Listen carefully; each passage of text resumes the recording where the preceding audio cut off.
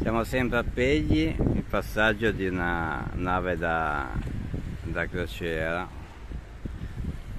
Non, adesso non riesco a vedere di che nave si tratta, non riesco a capire di che nave si tratta